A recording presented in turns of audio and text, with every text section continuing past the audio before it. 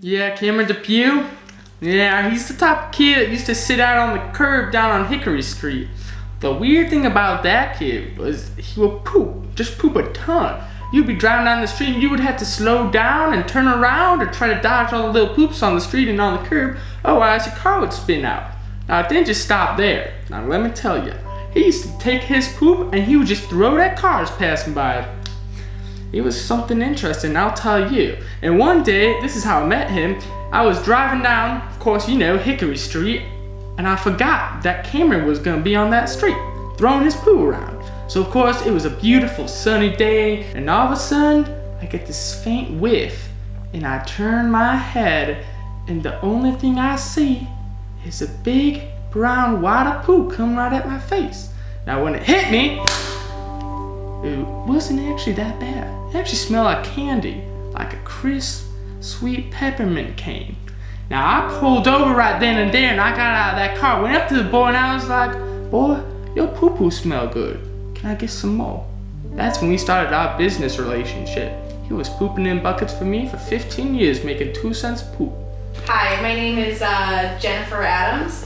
I met Cameron first at a gay anonymous meeting. When he first showed up at our meetings, he was really quiet, but then after a couple of weeks at our meetings, he just became the flamboyant gay that he is. And then after a couple, couple months or so, I think he just kind of decided that he didn't want to be anonymous anymore and he stopped coming to our meetings. Either because he decided he wanted to be flamboyantly gay or he decided to go back into the closet. I don't really know this Cameron Depue very well. Um, I, I saw him at the Eurofresh market. He was kind of uh, running around with his friends. I, I didn't really want to intrude. Uh, I was grabbing some groceries.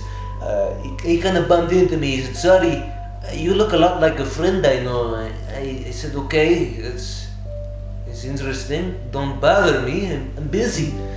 Um, and then a couple of days later, I was asked to uh, show up in an interview because of his uh, uh, some sort of event. I, I don't really know, but boy he looks like a very good boy. He seems well mannered. Um, very good, very good boy.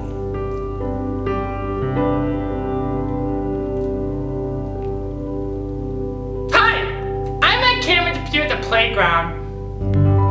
I was playing basketball on the courts, and then he was in the wood chips, and he came over to me, and then he asked if he could play, and I said okay, because I was trying to make friends. And then we was playing basketball, and then we were playing horse, like the game with the basketballs. And then the basketball went to the creek, and Cameron went into the creek, and then he swam into the creek and chased after the ball, and then I haven't seen him since.